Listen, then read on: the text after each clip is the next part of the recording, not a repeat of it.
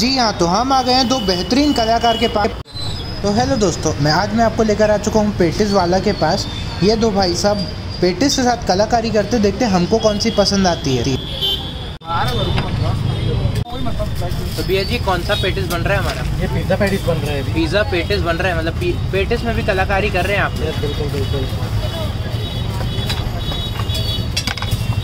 मतलब आलू पेटिस रहता है पहले से ही बनवाते हैं? पैटिस रहता है हम कस्टमाइज करके बनवाते हैं। अच्छा कस्टमाइज सबसे पहले इसमें डल गई कैप्सिकम कैप्सिकम फिर अनियन अनियन मतलब जो पिज़्ज़ा में टॉपिंग्स डलती है वही सब डल रही है इसमें? पिज़्ज़ा सॉस डल गया। अच्छा इसमें पिज़्ज़ा पास्ता सॉस डल गई।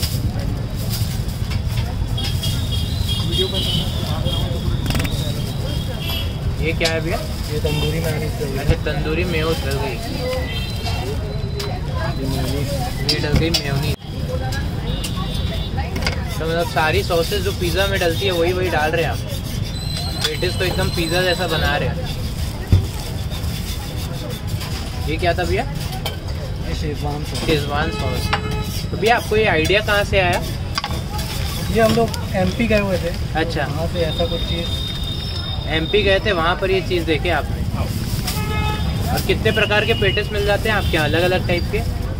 सात से आठ टाइप के सात से आठ टाइप के मिल जाते हैं। कौन से कौन से बता सकते हैं? पनीर मेयोनीज मिल जाता है। अच्छा पनीर में अच्छा रायपुर में क्या पसंद कर रहे हैं लोग ज़्यादा? पेरी पेरी बेस्ट सेलर है। पेरी पेरी बेस्ट सेलर है। और पनीर में वो भी अभी बहुत सारे लोग खाए। जी जी देखा मैंने। अच्छा चलता है। ये पिज़्ज़ा पेटिस में पूरा चीज़ ऐसे ढक जाएगा चीज़ से। हाँ चिली फ्लेक्स और ऑरिगेनो तो डलना ही था क्योंकि वो पिज़्ज़ा पेटिस है। पिज़्ज़ा का नाम आ गया मतलब चिली फ्लेक्स और ऑरिगेनो डलना ही है।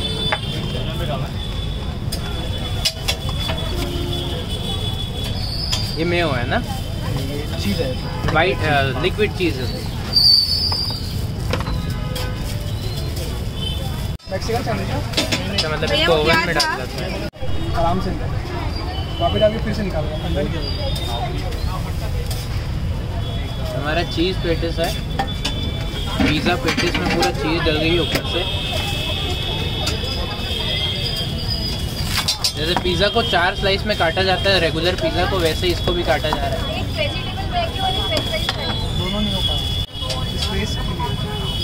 क्या अवेलेबल साइड में केचप भैया इसका प्राइस कितना होने वाला है? एटी नाइन रुपीज़ प्राइस होने वाला है और इसको खाने के लिए हमें कहाँ आना पड़ेगा? M G road Amit ice cream अच्छा अमित आइसक्रीम के बाजू में एम जी रोड में पेटिस वाले के पास। तो ये जो पेटिस के कलाकार है इस इनके पास आने के लिए आपको आना पड़ेगा एम जी रोड पेटिस वाले के पास अमित आइसक्रीम के बाजू में।